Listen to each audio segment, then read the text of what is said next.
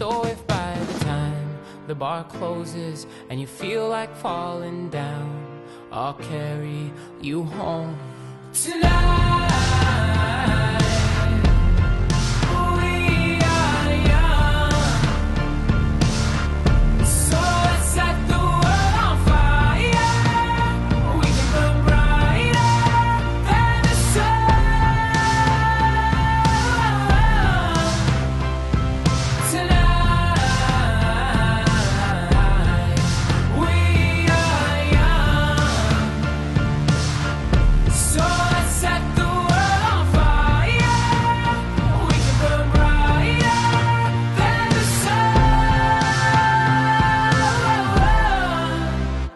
No, I know that I'm not.